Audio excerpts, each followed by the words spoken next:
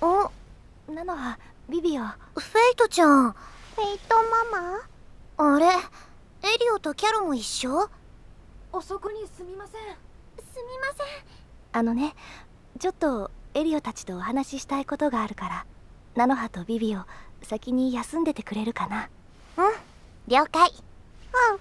3人でお話ならこっちの部屋使っていいよ。ビビオまだ眠くないって言うし 眠くないよ。でもなんだか大事なお話みたいだし待機中ならあれだけどオフシフトなんだしゆっくりお話ししたらいいよ。うん。じゃあ私とビビオ今夜は向こうの空き部屋使うから。行ってきます。ごめんね。ありがとうナノハ。ビビオありがとうございますうまくいったのかな？これからなのかな？気になるところだけど。みんなどうかしたの？あ何かあった？アルトルキノさん。まあいろいろと。ほらお前ら廊下で騒ぐな。喋んなら休憩所か部屋でしろ。すみません。あ私たちはただの通りすがりで。はい。ん。ライトニング隊に菜の葉までみんなで揃って何やってんだ？すみません。ごめんごめん。ちょっと私の仕様でもう部屋に戻るから。失礼します。あ一体何事だ？まあまあ副隊長。オシフトですしいろいろあります。えっとねエリオキャロ。はい。あのね2人は最近本当にしっかりしてくれていろんなことをちゃんとできるようになってくれてすごく嬉しい。だけど2人があんまりいい子すぎてしっかりしすぎてて。あの僕たちは僕たちが心配をかけてて。それでフェイトさんに大変な思いとか寂しい思いをさせちゃってるって。違うよ。心配なさすぎて大変じゃなさすぎて困ってたんだよ。私がちゃんとできてなくてだから無理してるんだって。無理じゃないです。一生懸命ではありますけど無理なんかじゃないです。私二人の保護者でいられてる？ちゃんと優しくできてないの？不満じゃない？不満なんてあるわけないです。フェイトさん心配しすぎです私たちもうビビオみたいな小さな子供じゃないんですよ。わがまま言って困らせることしかできなかった頃から変わっていきたいと思ってます。少しずつでもちゃんとしていきたいって二人でたくさん話しました。でもアルフに叱られました。そういう風に二人でたくさん話したってことちゃんとフェイトさんに説明してないからだよって。私も母さんに注意された。私が二人と一緒にいたい。頼ってほしいんだってわがままを。ちゃんと伝えられてないんだって。あのもしかして。リンディさんから解決法とか聞きました二人もアルフから聞いた？はい。三人でじっくり話し合いなさい。まず間違いなくそれだけで解決するから。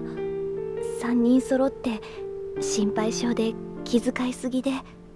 頑固でわがままですぐに周りが見えなくなるんだからって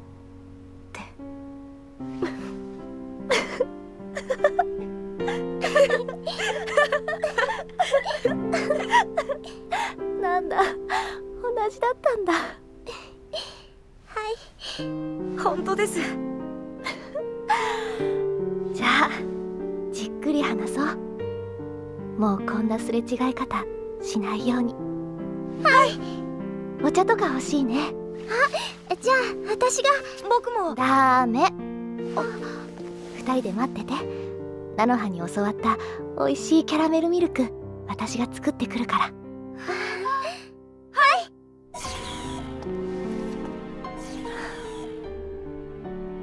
複雑で微妙な親子未満の関係。うまくできてるかどうかやっぱりよくわかりません。子供を育ててるつもりで保護者も子供たちに育ててもらってるんだって母さんの言葉。アリシアと一緒に過ごしてた頃のプレシア母さんや私のことを育ててくれたリニスももしかしてこんな気持ちだったことがあるのかな少し思いました。キャロはうんと甘めでエリオはミルクたっぷりと。よしできた。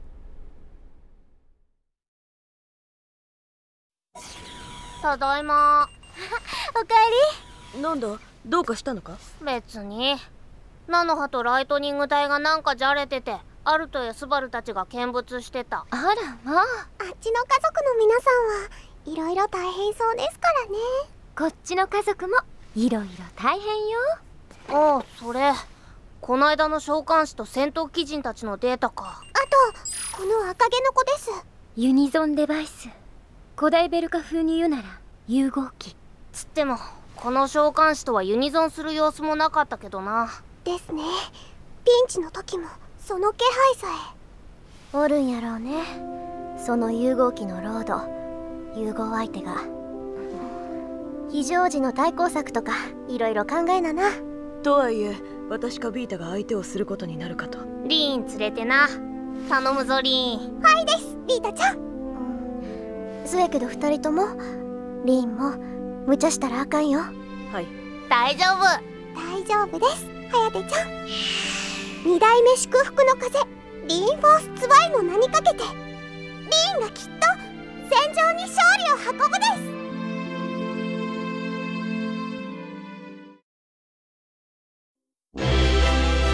す。祝福の風という名に秘められた過去と祈り。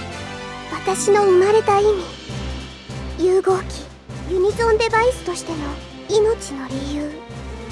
次回魔法少女リリカルナノハストライカーズサウンドステージ03第18.5話。蒼天の風宵闇の炎。あの雪の夜に。テイクオフ